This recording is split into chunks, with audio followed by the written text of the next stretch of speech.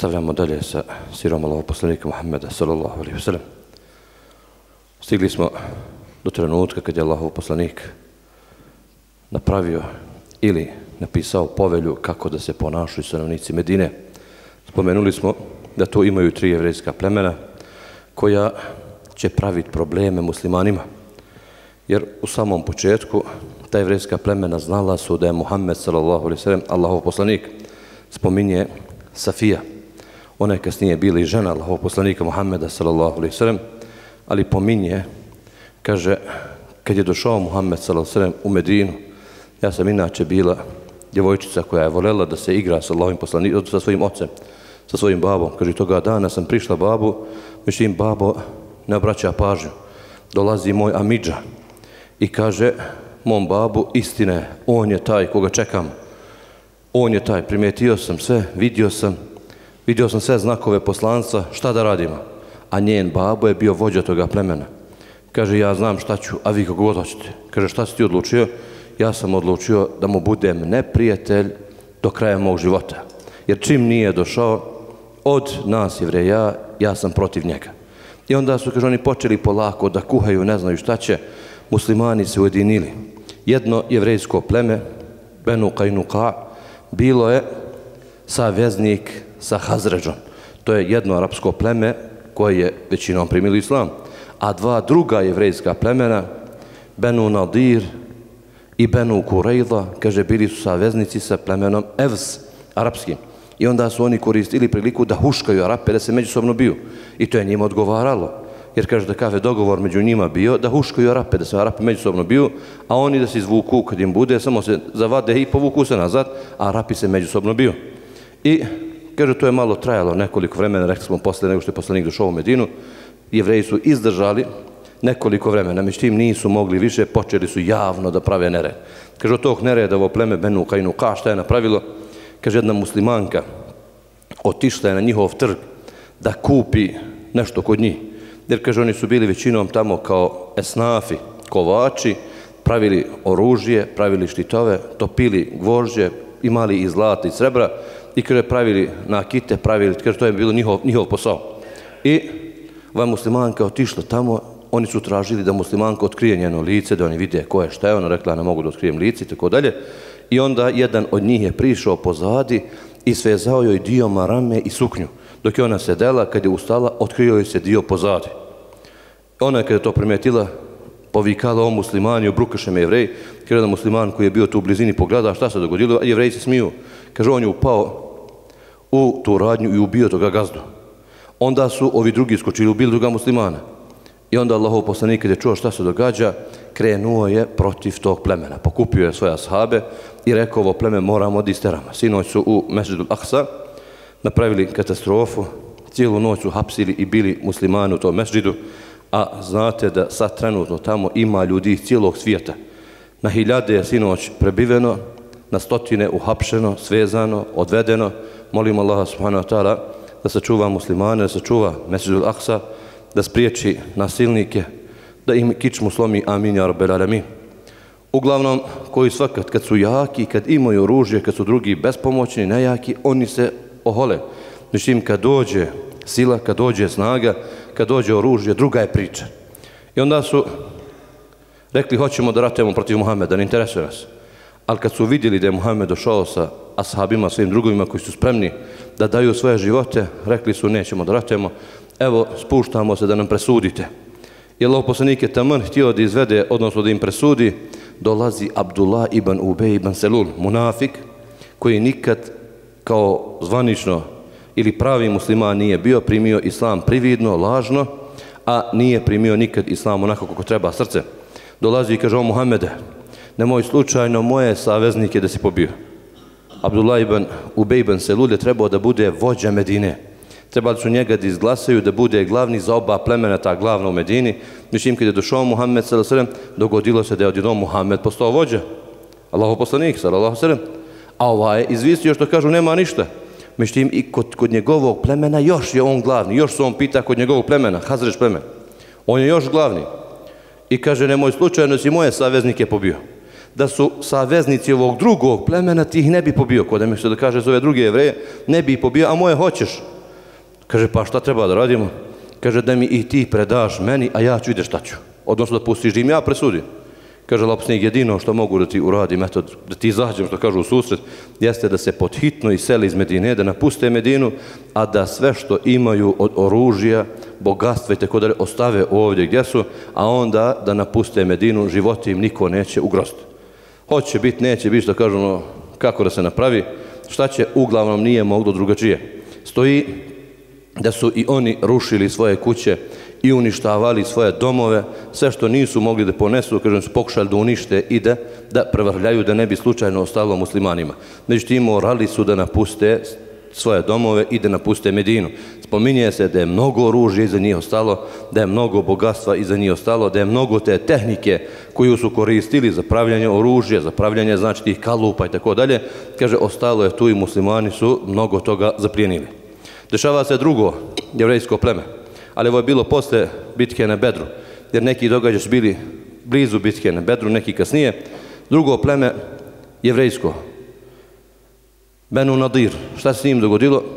Kaže, muslimani su greškom ubili jednog čovjeka, koga nisu smeli da ubiju. I onda je trebala da se plati krvarina.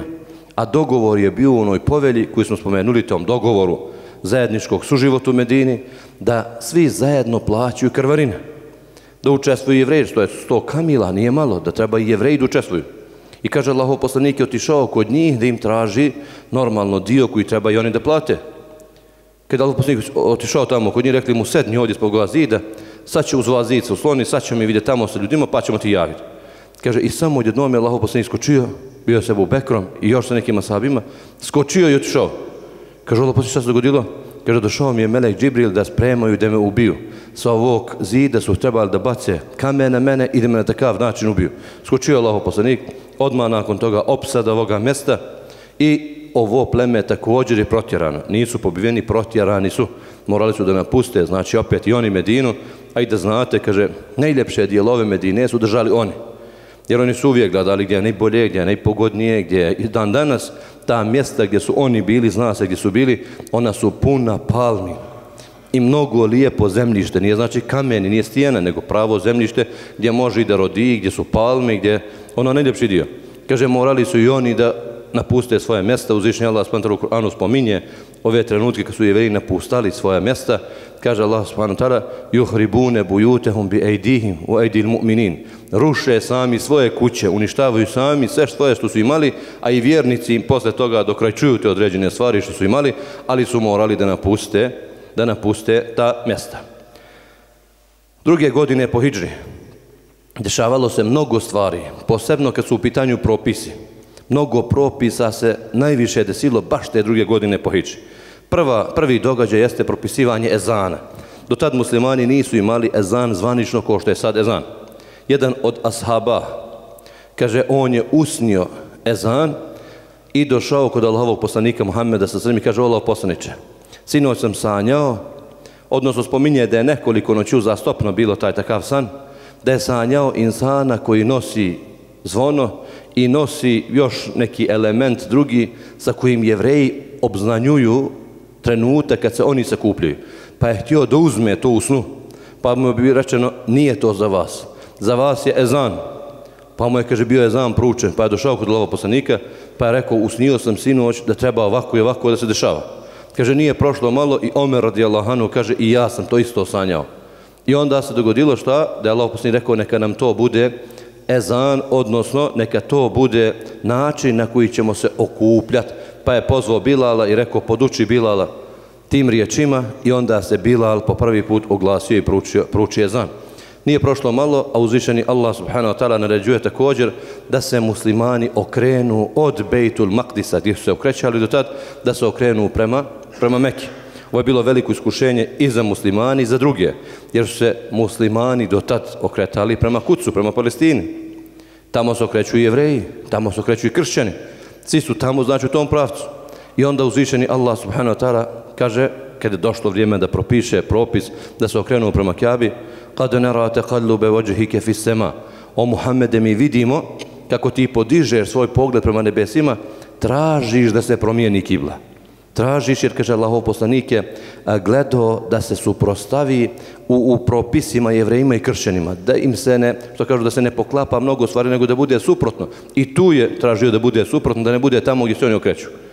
Mislim, neča, neka bolesna srca koja nisu bila čvrsta, kaže, jevreji su uspjeli da i prevare, da ih obmane, pa su rekli, o, vaš poslanik, čas lijevo, čas desno, čas na prije, čas nazad, ne zna ni kuće, ni šta će, okreći se vamo, okreći se vamo. Ono što ste klanjali tamo prema Bejtul Mahdisu, propalo vam je, nema od toga više ništa.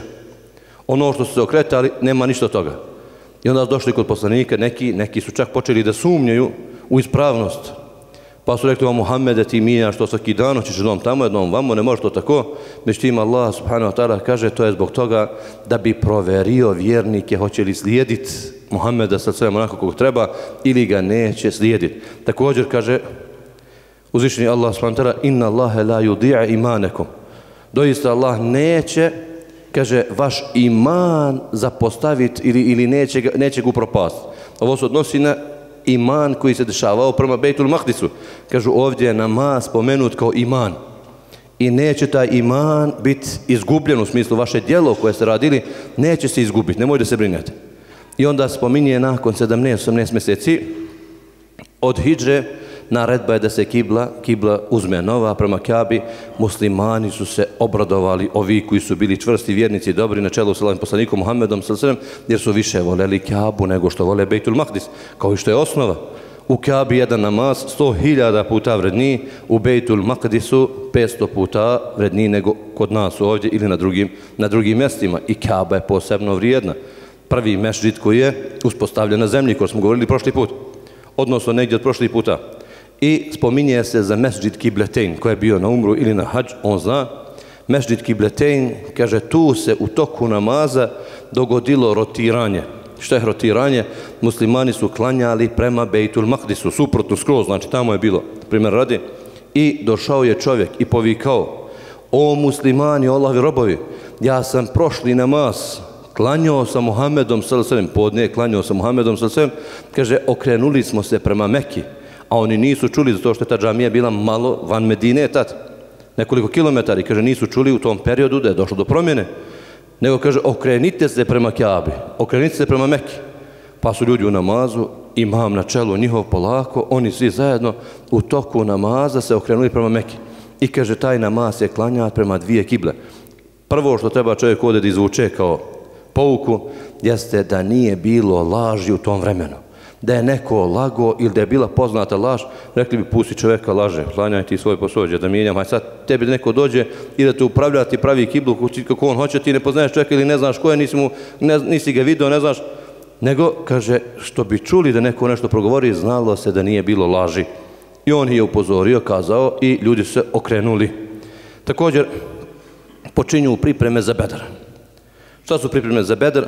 Bilo je razni izvidnica koje je Allahov poslanik Muhammed s.a.v. slao da čuvaju Medinu, da gledaju oko Medine, da vidje da slučajno mušici ne napadnu Medinu. Još jedan događaj koji se dogodio u tom periodu pred sami Bedr, kaže jevreji zajedno s ovim munaficima počinju da prijete Allahovom poslaniku Muhammedu s.a.v. Pa stoji da je jednu noć Allahov poslanik rekao kad bi se našao neko od ljudi da dođe da me čuva ovu noć, jer Allahom poslaniku je teško bilo da im naredi, hajde cijelu noć da spavate, čuvajte mene da bi ja mogu da zaspem. Pazite kako je to bio ponizan čovjek. I kaže, kad bi se našao neko, a išće radi Allahom priča, a nije prošlo malo, pokucao je neko na vratima. Pa je Allah poslanik pitao, men, ko je? Kaže, Sa'at ibn Muas. Sa'at ibn Muas, jedan od vođa plemena Evs. Kaže, što si došao? Allah poslaniće, neka me noća da te čuvam neka me noćas da budem ovdje pored tvoje kuće, osjećam da nešto nije u redu, napumpalo se nešto u Medini, negativna energija, neka me noćas ovdje. Kaže Allah, opusnik, hvala Allahu koji ti je poslo, možeš, nije problem. Nije prošlo malo, uzvišeni Allah subhanahu ta'ala objavljaju kuranski ajed, Wallahu ja'simu keminan nas, o Muhammede, pa Allah će te čuvat od ljudi. Allah će te čuvat od ljudi, neće ti moći naudit ljudi, neće te moći ubit ljudi. Pazite, bilo je i prijašnjih poslanika koji su bili dobri, odabrani, koji svaki poslanik što kažu dobar, odabran, ali su ih jevreji ubili. Što Allahov poslanik imao je razlog da pomisli da će ga jevreji pokušati ubiti tako dalje. I onda je tražio ili molio Allaha da nekog pošalje ko će ga čuvati. Nakon ovog kuranskog ajeta Allah poslanik je rekao više ne treba niko da me čuva. Allah mi je zagarantovao da će me čuvat od ljudi. I kaže više nikad i niko nije stražario oko Muhammeda s.a.v. kad je bilo u pitanju tako da čuva njegovu, njegovu kuću. Počinju polako pripreme za bedar, ko što rekao, tu veliku odlučujuću bitku, kad su mušici Mekije pokupili sve što je ostalo iza muslimana i htjeli da odu za Šam da prodaju to muslimansko bogatstvo, tako reći. Šta je bilo to bogatstvo? Pokućanstvo koje su muslimani ostavili, nisu mogli da ponesu za Medinu. Kaže, oni su sve to pokupili i još nešto svoje robe. Čak stoji negdje da je bilo oko hiljadu kamila koje su bile kao karavana koja je trebala dode za Šam i da se vrati iz Šama, da proda to muslimansko, da zaradi, da kupi nešto drugo, da vrati za Meku. I onda Allah opasnik je čuo da je ta karavana iz Meke krenula prema Šamu. Šam je Palestina, Sirija, Jordan, to je Šam. Gore su bili ti veliki pijaci gdje se trgovalo, prodavalo. I kaže Allahov poslanik, hajde da probamo da ih sretnemo. Da im uzmemo to što je naše. I zašao svojim oshabima, međutim, kaže, karavana je pobegla, nisu je uhvatili, otišle za Šam. E sad se pripremaju kad bude došla karavana, kad se bude vraćala, da je presretnu i da uzmu ono što faktički pripada, pripada njima. Krenula je priprema, međutim, priprema koja je bila mnogo brza i nije imalo vremena da se mnogo ljudi spreme kad je Allahov poslanik povikao idemo, odnosno pakujte se. Kaže, uspjelo je samo 314 ljudi, negdje stoji 316, negdje 317 ljudi da se organizuje sa Muhammedom s.a.v. i da krenu prema Bedru. Mnogo mali broj. Zbog čega? Kaže, i malo je tu još ljudi koji bi pošli, ali im nije više bilo potrebno za jednu karavanu. Karavana od hiljada otprilike, kako malo kamila, negdje stoji, je bilo manje, negdje stoji, kažem, razne, razne prede. Kaže, otprilike je bilo tu 50 do 100 ljudi. Nije tu imalo mnogo ljudi, znači njima ne treba tu sad nešto, neka ogromna vojska. Jer se nije planiralo da će biti sukop sa mušicima Meke, nego samo oko karavane. I onda izašlo 314 ljudi, čekaju karavanu. U izvidnici Allahov poslanik šalje uvijek po 200 ljudi da odu tamo, da gledaju okolo, da se priprema, da se sve to fata, šta je, kako je. Niš im kaže i Ebu Sufjan je bio predvodnik te karavane. Isto je to radio, jer je on iskusan borac bio. I on je iskusan vođa bio. On je bio načelnik ili gradonačelnik Meke. I kaže, i on bi slao svoje ljude kao izvidnicu. Pa se dešavalo da bi njegovi ljudi otišli, pa bi našli neke tragove iz Medine. Pazite šta je, kako se to gledalo, sve koji su ljudi bili ko vukovi, što kažu u tom vremenu. Kako ko vukovi, kaže, našli su izmet od Kamile. Pa su prišli, pogledali, kaže, u tom izmetu je bilo košpica od hurmi. Pa su rekli, ovo su medinske Kamile. Ovo je izašao Muhammed. Oni imaju viška hurmi da mogu da hrane Kamile sa hurmama. Ovi drugi ne hrane Kamile sa hurmama. Samo oni pa su rekli Ebu Sufjanu, moraš da menjaš put, ne moj tim kuda si krenuo putem, nego beži drugim putem. A u istom trenutku Ebu Sufjan šalje ka Meki ljude koji će obavijestiti Meku da je karavana u opasnosti. Kaže, šalje jednoga koji se zvao Ebu Damdam. On je došao, razbio nos svojoj kamili, raskrvario je nos, okrenuo se naopako i naopako ulazi. Kaže, pocijepo odeću, to je bio znak za uzbunu pocijepo svoju odeću i ulazi u Meku. I doziva ostavnici Mekije, vaš imetak je propao. Vaši ljudi će propast, vaše kamile će propast. Šta je bilo? Kaže, Muhammed izašao svojim drugovima i priprema se da vam zaustavi karavanu da pokupi sve to što je. E sad oni, Meka jača bila, veći grad. Kaže, oni su brzo povikali i oni, hitno moramo da napustimo, odnosno da krenemo u borbu. Brzo, ko je spreman, nek izlazi. Kaže, od njih hiljadu ljudi. Za tren oka, hiljadu ljudi Mekelija, jer je tu bilo hiljadu kamila, čije su bile kamile, možda je bilo hiljadu porotica, odnosno hiljadu ljudi dalo kamile i tako dalje. Šta ćemo, kaže, hiljadu ljudi odmah izlazi. Na njihovom čelu Ebu Džehl, glavni faraon ovoga umeta, izlazi i na njihovom čelu i kreću prema Medini. Kaže, pili su, lili, pjevali, htjeli su da pokažu svoju snagu, da uplaše druge ljude da dođe situacija da drugi ljudi su plaše od njih, da više niko na njih ne dođe. Kad su čuli da je Ebu Sufjan, kad su već bili oni u putu, blizu Bedra gdje treba da se sretnu sa muslimanima, kaže, čuli su da je karavana spašena. Da je karavana spašena. Pa su rekli neki, hajde da se vratimo. Kaže, nema vratanja, vraćanja, kako se vratimo? Mi smo pošli da potučemo Muhameda za sva ljuta vremena i da više nikad nikome ne padne na pamet da uznemiri nas i naše, našu karavanu ili naše, naše trgovce. I kaže, nema vraćanja. Neki su se ljudi odvojili, vratili se, pobegli.